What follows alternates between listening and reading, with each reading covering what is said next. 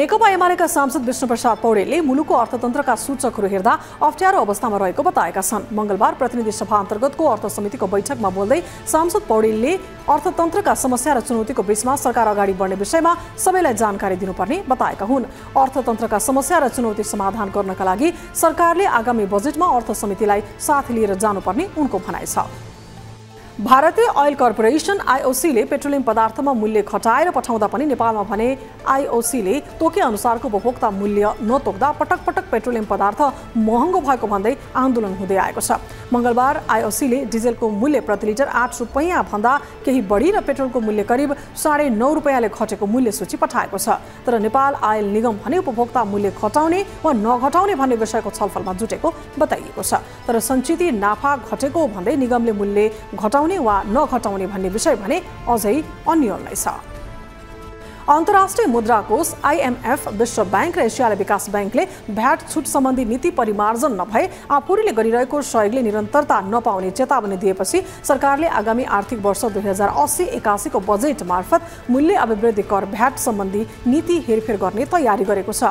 मूल्य अभिवृद्धि कर ऐन दुई हजार बाहन्नको दफा पाँचको तिन अनुसार सरकारले भ्याट छुट दिन सक्ने व्यवस्थालाई दुरुपयोग गर्दै हचुवाको आधारमा कर छुट दिएको भन्दै आइएमएफ विश्व ब्याङ्क र एसियाली विकास ब्याङ्कले विगतमा पनि असन्तुष्टि जनाउँदै आएको थियो। सरकारले आगामी वर्षमा अहिले कर छुट पाइरहेका तेह्र समूहका विभिन्न वस्तुमा भ्याट लगाउने तयारी गरेको छ। चालु आर्थिक वर्षमा गण्डकीको आर्थिक वृद्धि दर सबैभन्दा बढी र बागमतीको सबैभन्दा कम हुने प्रक्षेपण राष्ट्रिय तथ्याङ्क कार्यालयले गरेको छ। मङ्गलबार तथ्याङ्क कार्यालयले आर्थिक वर्ष दुई हजार उना अस्सी अस्सीको प्रादेशिक कुल ग्राहस्थ उत्पादन सम्बन्धी तथ्याङ्क सार्वजनिक गर्दै गण्डकी प्रदेशको आर्थिक वृद्धि दर सबैभन्दा बढी तिन दशमलव तिन प्रतिशत हुने र बागमती प्रदेशको वृद्धि दर सबैभन्दा कम एक दशमलव चार चार रहने अनुमान गरेको हो। चालु आर्थिक वर्षमा कोशी प्रदेशको आर्थिक वृद्धि दर दुई दशमलव शून्य प्रतिशत मध्य प्रदेशको एक दशमलव छ नौ प्रतिशत लुम्बिनीको दुई दशमलव शून्य छ प्रतिशत कर्णाली प्रदेशको एक दशमलव नौ एक प्रतिशत र सुदूरपश्चिम प्रदेशको एक दशमलव सात आठ प्रतिशत वृद्धि हुने तथ्याङ्क कार्यालयको प्रक्षेपण रहेको छ। गत आर्थिक वर्षको तुलनामा सातै प्रदेशको आर्थिक वृद्धि दरमा सङ्कुचन आउने देखिएको छ। सिद्धार्थ ब्याङ्क र विश्व ब्याङ्क अन्तर्गतको इन्टरनेसनल फाइनेन्स कर्पोरेसन आइएफसी बीच नेपाल लघु साना तथा मझौला उद्यमीहरूका वित्त पोषणमा लगानी गर्ने सम्झौता भएको छ। यस सहकार्यसँगै स्वच्छ ऊर्जा परियोजना विद्युतीय सवारी साधन जलवायु मैत्रीपूर्ण जस्ता परियोजनामा लगानी गर्ने प्रतिबद्धता गरेको ब्याङ्कलाई आइएफसीले पाँच करोड पचास लाख अमेरिकी डलर ऋण प्रदान गर्ने भएको छ।